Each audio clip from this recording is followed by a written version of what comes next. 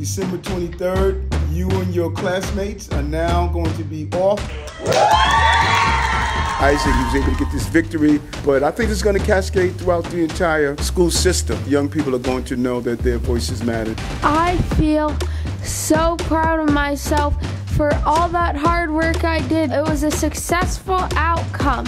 I'm proud to announce a new suite of employee benefits that provide up to $10,000 in reimbursement for costs associated with adoption, surrogacy, and egg or sperm donations. This marks the first time a major city in the United States has provided these benefits to city employees. Today's announcement is not just an investment in our city employees, but also a testament to our city's commitment to equity, compassion, and inclusion.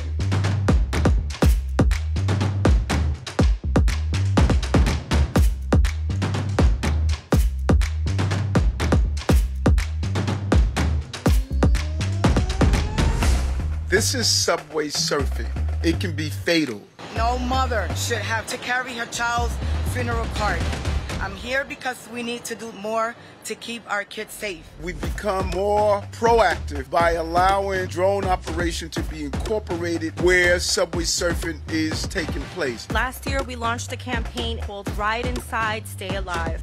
With this campaign, we are amplifying student voice and peer to peer messaging to fight the potentially dangerous effects of peer pressure and social media. This year, drones have been deployed over 909 times. Your officers have successfully saved the lives of 114 subway surfers. It's a combination of the patrol force and then it's the young people who are part of the PSAs that we're putting together.